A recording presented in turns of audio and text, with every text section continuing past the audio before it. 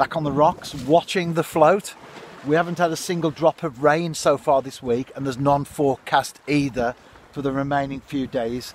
That was great timing, wasn't it?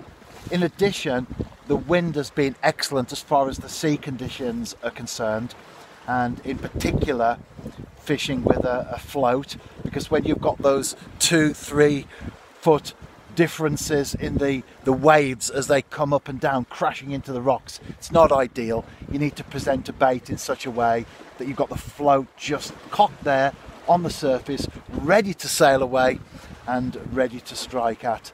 And talking of which, I've had a couple of dips so far. I've only been here about 10 minutes. Great thing about sea fishing, you don't have to bait your swim up, prepare your swim. You have to go to where the fish are. Watercraft, isn't it? Anyway, I'm sure I'll be back with a fish, probably a wrasse. And the first fish of this particular session on the rocks is a small Ballan wrasse. Look how beautiful they are. I hope that comes out on the screen there. The second fish is still a wrasse, but it's a corkwing. You can tell that by the black spot at the root of the tail.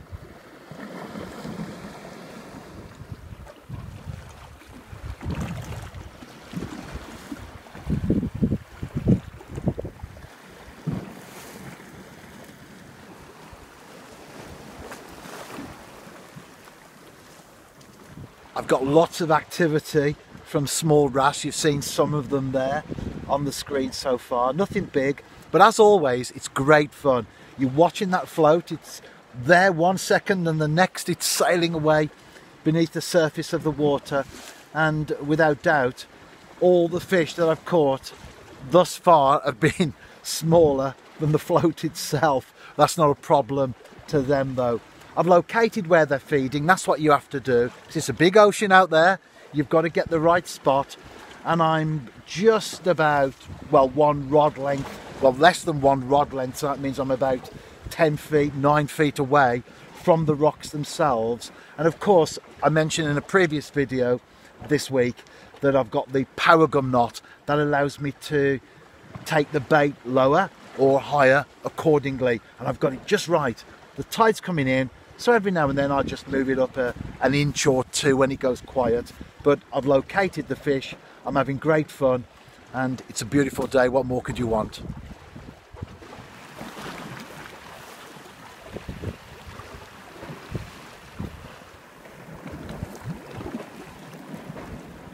I just caught a pollock. I got it onto the side. Unfortunately, didn't get a, a good grip on it. It it fell back into the water. It counts though because I did I did catch it.